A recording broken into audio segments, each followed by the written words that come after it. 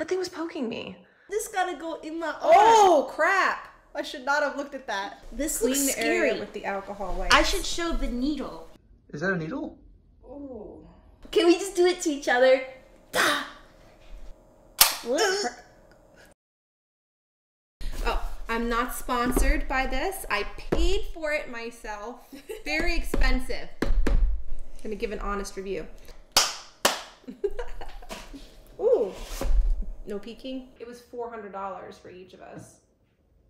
You can say that. I mean, it's not cheap. Mm-hmm. Is it worth it? We'll find out. I've always wanted to test my glucose and see how foods affect my glucose. Mm. I know I'm insulin resistant. Three, two, one. Ta-da! We're like, okay. Wait 60 minutes before your first scan. The frick. During the first 12 to 24 hours, your sensor may show extra variability. Scan every eight hours to capture all your data. Okay, wait. How did? Where did you hear this from?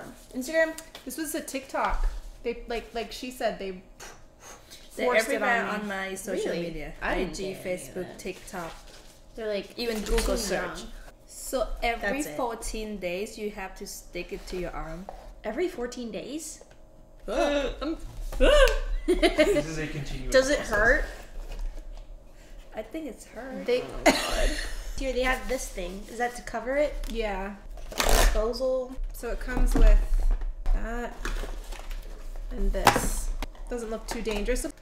How do I Okay. This clean looks the area with the alcohol wipes? I should show the needle. It's tiny, but that has to go in your in your arm. That's not a tiny needle. That you to. Oh, then I gotta go into here. I don't know. Hold the left. One step ahead of my friends. Okay. This gotta go in my arm. Oh crap! I should not have looked at that. That is a needle. Which way is supposed Firmly to go? push the applicator sensor. Don't be nervous. Insertion might feel like pinch or nothing Yeah, at don't all. be You're all set. Don't Oh, be nervous. Will? Oh? It didn't hurt. Adrenaline. oh, it kind of like. I didn't feel anything. You didn't. I don't I mean, think it's I'm as feeling bad it as now, but not no. You want me to do it, Nuk? oh. Yeah, the last one. Don't look. We Okay. Um. You guys make it too big of a deal. It's not that bad. You started it with the big needle.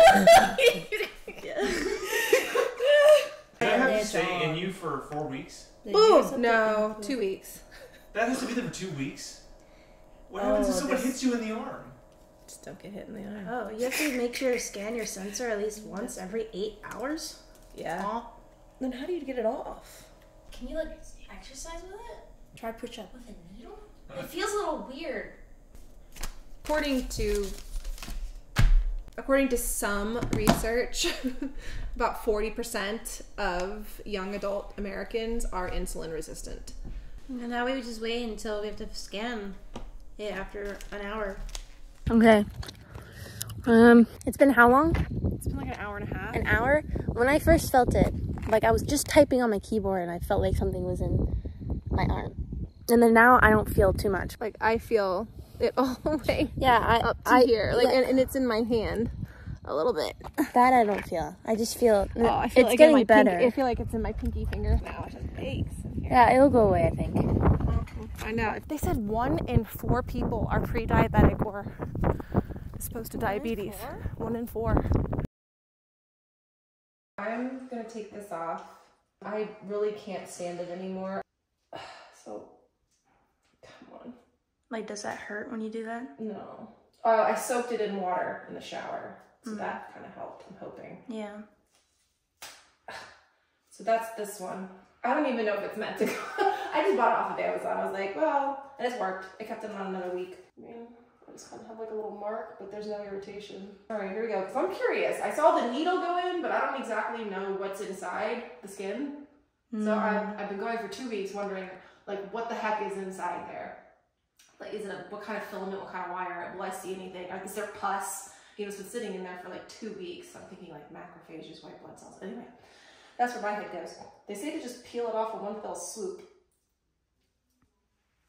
Okay, I did it. What? that is not what I thought it was going to be.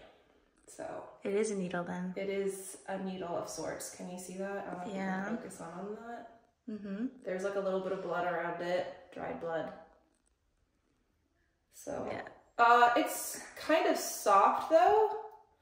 Poor, I sympathize so much with diabetics. Like how I have a newfound respect. But anyway, that It is like a little wire. it's like a little. I mean, a piercing is worse. Like you can kind of see when I pull. Yeah, it's like you know if you had like something stuck in there. To have to replace this and do this Again? weeks. I mean, it took three days for the discomfort to go away. Yeah, three days. But I've been able to sleep on it. I've been able to bump it. Take showers with Take it. Yeah, I don't even feel it. I don't notice it. Once I changed it to this bandage, once I put this little whatever this is, I don't even know if it's the right thing. I mean, you can feel mine. But it's it's held. But you don't feel any irritation. You have the plastic piece in there. Yeah. You have the little plastic wrapper. I kept it You did much better than I did. I'm like so.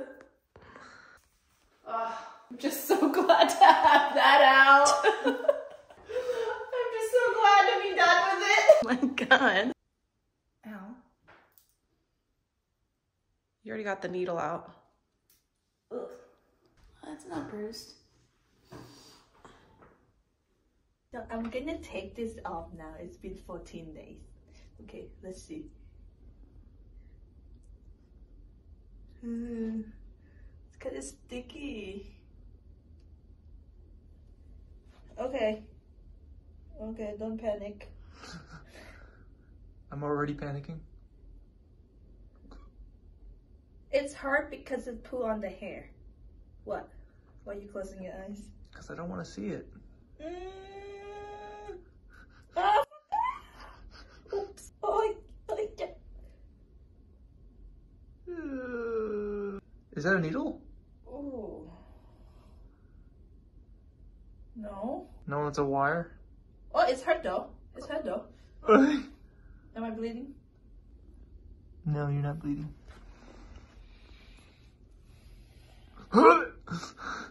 How are you gonna dispose of it?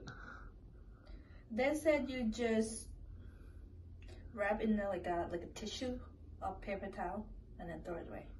Uh, okay. I'm not bleeding. No, you're not, you're not bleeding.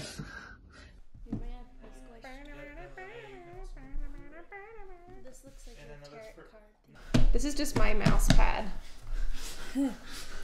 my very large mouse pad. we are back after two weeks. The glucose testing.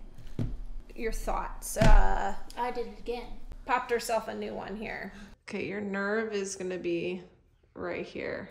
So it goes all the way up. Yeah. So you don't just don't go here. Start here. I would think right here is. I mean, there's a nerve here too, though, right there. My look.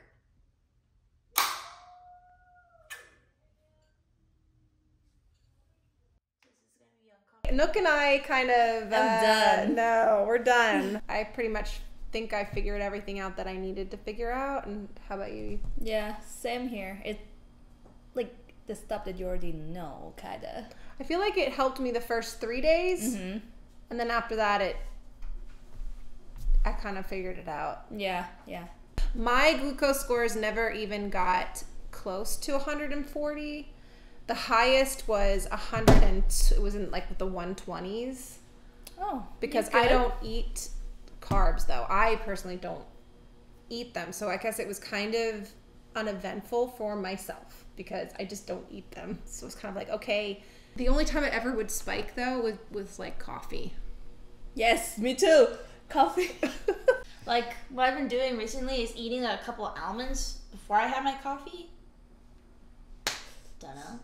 That changes That anything. fixes it. That doesn't raise it too much. It just goes like Some fiber. not like I don't know whether coffee has an effect on the metabolism. It just causes you to release more sugar, but it just uh, every time It must. I don't know whether it was the caffeine or what, but but you said it didn't happen to you when you drank coffee. So I was noticing a spike when I was intermittent fasting and then drinking coffee. Mm. Sh- My the nutritionist on there said that like a 16 hour fast is no good for people my age. So Yeah, she was kind of saying like it wasn't that good for her. I didn't. I did notice also though a spike if I went like a long period of time. You did too, right? You noticed. Yes. Yeah, I tried exactly the same meal, like steak, rice, and salad. Before that, that I wasn't starving. It was fine. But now I was starving, and then I had that same meal. It spiked up. She was like, start with protein first, Yes. and then whatever you want to do, do later. The first day was a little wonky because it was calibrating. So usually at night it would go way down into that other yellow, mm-hmm. but mine never went. I never saw that other green. it would rise during the day and then right, fall. but like like you have to keep eating protein every single meal. Like you can't. in order to not spike your glucose. And yeah. if like for example, if you're eating chicken with mashed potatoes and like asparagus, you have to eat the chicken first and then the mashed potatoes. You can't eat it all together. That's what I tried. Like she at was the dipping her steak like in the mashed potatoes and eating it, and it. That doesn't work. That doesn't work. Okay. it- Also, stress has a big thing. Oh, that was what you were funny. She was taking a test. I was test. taking a big exam, okay, and it did shoot up like twenty points. And she's like, "Oh, thank you for noting that," because it just I didn't eat anything like an hour before, and then it just spiked all of a sudden. So did you notice when you were exercising that it would go down or up? Mine is like kind of fluctuated, like when I do exercise. Cause some day I do cardio, some day just like resistant based exercises, and it seemed like cardio is like it spike a little bit more. Maybe it's just me. I don't know. When I run and I do heavy intensity and my Yeah. adrenaline's going, actually my glucose goes up. But if I'm doing like weights, Yeah. band work, walking, Right. it goes down. But that explains like why I'm hungry after I hun- uh, I work out because my glucose dips and then it So spikes again. yours dips after At least work I out. think so. I mean, I, I feel that adrenaline if I get my heart rate like over 120 for like 10 minutes. Okay. And I'm Yeah. feeling that shakiness. Yeah. So you know that like That's when it's like. it spike. goes up. But for like people that like Thai food, try to avoid curry. Cut that Yes. spike. I had one meal with curry. that spike a lot. I, I didn't go that high, but it was for me. It was high. It was like I think that was my highest one was curry. Yes, curry. I don't banana no good. because if you eat the banana first and then you eat the protein, then it won't work. Yeah. But i- if I guess no smoothies, huh? no, unless it's completely protein. But guess what? when they have a sun-dried banana, it worked very well. Fresh banana, mm-hmm. it won't work. I ate an orange during snack, like when I had a break on Monday. I ate an orange and that didn't do anything. But that was after when I ate protein. Well, I would say like what I got from this equipment is just the meal sequencing. I told you that I had like the waffle and sausage and eggs, but I eat protein first, like mm-hmm. Linnea said, and that was doing pretty good job. Like I got ten score out of that. It's not Wow. spike. Doing a great job. So it was enough protein. Yeah. So how much protein do you think that was? I don't know, it was two eggs and then two sausage. Hmm. And I had like the whole waffle with maple syrup. So the, I guess the lesson is you can eat more carbs than you think, and hmm. not drastically spike your glucose. Yeah, it's like a little trick that you can do to avoid that. Yeah, because I love carb, I love rice. So now I can just flip flop a little bit. But it's still challenging because usually I eat rice with protein. Right. Now they said to eat protein and vegetable first. I was like, that doesn't go together. Like I don't know if I You're like to do that. dip it Yeah. with the mashed potatoes, not eat it. That's- that's- it doesn't work that way. See, she gets me. Well, it's kind of like when we tell our kids, like, okay, you have to have good food first, and then you can have your sweets. Uh, try to No stay stress free, and uh, protein before carbs. There was a couple mine. things that surprised me. Like I had to change my yogurt, my brand of yogurt that I like. oh. It was too much, even though it had the same amount of carbs. Um, different response. Did you notice that brown rice did better than You know what? I don't purple rice or? any like different rice do anything, but only the factor I would say is refrigerated with, you know, like the ah. The cold rice versus warm the rice. cold rice is doing better than the fresh cooked rice. Yeah, even you heat it up, it's fine.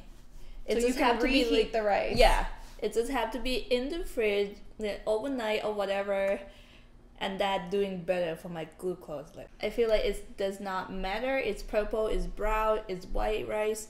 It just refrigerate or not refrigerate.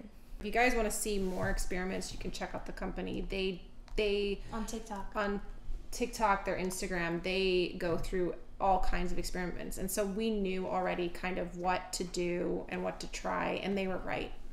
Mm-hmm. They were right, pretty much. It was just interesting to accurate, see mm-hmm. it for yourself and to be able to get a glucose, a continual glucose monitor, and not have diabetes is interesting um, information to have, and it's invaluable because we don't really. Ha- you wouldn't normally have a reason to go and do that for yourself unless you were having symptoms of diabetes. So to get a prescription for it is not likely, but this company is willing to do that for you, Yeah. regardless of whether you have diabetes or not, just so that you can have that kind of information for yourself. So you can see for yourself what foods do spike your glucose and which don't. I was still surprised that some of them did spike it as much as they did, and I was surprised at how much I could get away with. Maybe we were just all too scared to eat carbs because we had this glucose monitor on us. Maybe I was more I was more aware of what I was eating. I'm like, I What know this is. I know this is gonna spike my glucose. Do I really want my nutritionist to see this? Yes, it was kind of like I kind of wanted to be left alone, like for like a day. Like, don't look at it. Like what I was doing was, oh, I would try a glass of wine. That was what was interesting to me. It did not spike my glucose. What? Wine. Wine. Like That's red like- wine. I had a dry a dry wine. Put that up. I know you're, you're kind of like she can't drink that, but anyway, Can't relate. because the, the whole goal is is you don't want it to really go over 140 you want it to come back down within two hours to what it was before you ate Mm -hmm. those are base and you don't want a change or a delta you know a change in um, variance of over more than 20 to 30 points glucose it's been thought higher levels of over 140 lead to inflammation in the body it just causes an inflammatory response to your body. And so that's going to increase all kinds of symptoms. You don't want it to be spiking and spiking and spiking. I mean, do you think it was worth it? I I feel like for the price, if like fifty percent off, I probably do it again. to be honest, but it's just because like like I know that I just need a confirmative like Right. is confirm that okay, that mm-hmm. is right, and that's confirm it. So Right. You research it ahead of time. The NutriSense company is pretty spot on. They they're very honest and forthcoming with their information that they give. Yeah, Um, and if you research well ahead of time and have a plan of what you're going to do, you don't have to keep like doing every doing it month. all the time. yeah, You know, it's I just didn't have a plan going into it. No, Maybe but, that's yeah. what but I, I did. didn't Yeah. really want you to. I didn't really want like you at the beginning. You were like, "This is toxic. This Yeah. is horrible. Oh, yeah. I don't want to write every." Now you're like, "Let me do it some more." You you pumped another one in. I did. But I didn't really change what I was See, eating. I don't believe Yeah. in. I just changed the pattern. Well, I don't believe in calorie counting and counting calories. I hate that.